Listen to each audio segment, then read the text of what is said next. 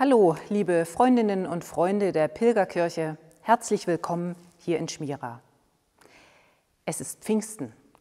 Das ist ja das Fest, mit dem die meisten von uns am wenigsten anfangen können. Ostern und Weihnachten, da wissen wir ungefähr, was wir da feiern und wie wir es feiern. Aber Pfingsten?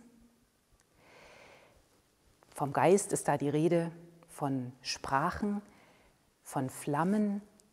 Es ist eine sehr geheimnisvolle Geschichte und es ist wie immer ganz genaues wissen wir nicht. Erzählt wird, dass die Freunde von Jesus zusammen waren.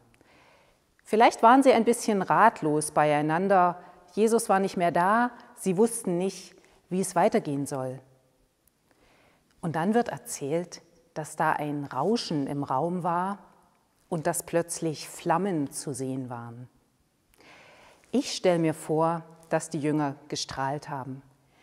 Vielleicht waren sie ergriffen von einer Idee aus der Runde, von einem Gedanken.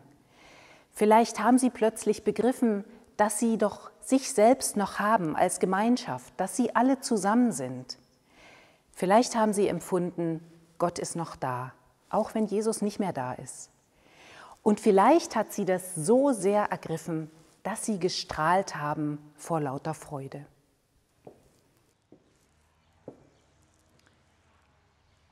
Kennen Sie das, dass jemand strahlt vor Freude? Dass jemand so glücklich ist, dass es aus ihm herausleuchtet? Wann haben Sie das letzte Mal gestrahlt vor Freude? Vielleicht ist das eine Form, Pfingsten zu feiern, dass wir uns an das erinnern, was uns strahlen lässt. Die Freunde damals, die hat es nicht mehr drin gehalten. Die waren so begeistert, dass sie raus wollten, dass sie erzählen wollten, was sie da gerade erlebt hatten. Das ist die Bewegung des Pfingstfestes. Raus, nicht drin bleiben und still vor sich hin leuchten, sondern rausgehen zu den anderen. Das machen wir jetzt auch.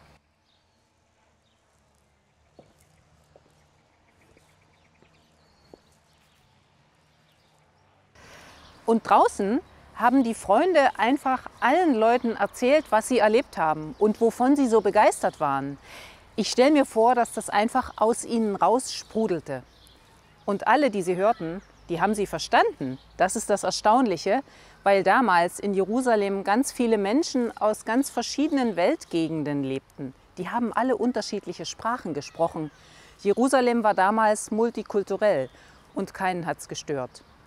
Und alle haben verstanden, was die Freunde erzählt haben. Das ist der Geist des Pfingstfestes. Ein Geist, der verstehen lässt, der zusammenbringt, der vereint.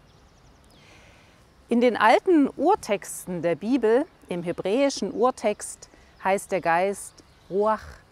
Das bedeutet so viel wie Atem. Der Geist, das ist der Atem Gottes, der in uns lebt. Und er lebt in jedem von uns, egal wo einer herkommt, welche Hautfarbe er hat, welche Sprache er spricht, welche Haltung er hat zu den Dingen der Zeit. Dieser Geist Gottes lebt in jedem Menschen. Das ist der Geist, den wir Heiliger Geist nennen, die Juden Ruach, die Taoisten Chi und den die alten indianischen Völker den großen Geist nannten. Der eine Geist, der Atem Gottes, der uns lebendig macht.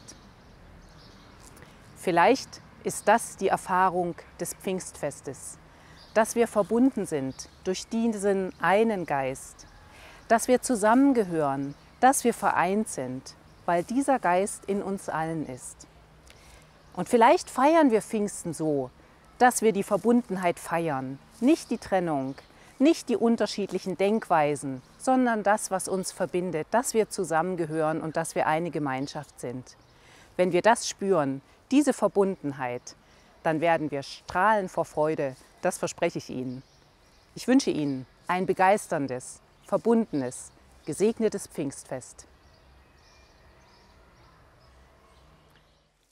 Ein Pfingstlied aus Tessé, Veni Sancte Spiritus, Tui amoris ignem accende, das heißt, komm, Heiliger Geist, entzünde das Feuer deiner Liebe. Wenn Sie mögen, singen Sie mit. Veni Sancte Spiritus